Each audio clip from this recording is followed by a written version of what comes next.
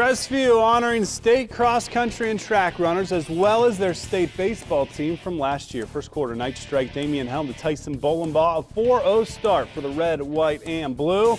Then Miller City answers Adam Drummelsmith to Corey Hireman. Three. It's a one-point game. Wildcats playing defense. Jacob Gurton the steal.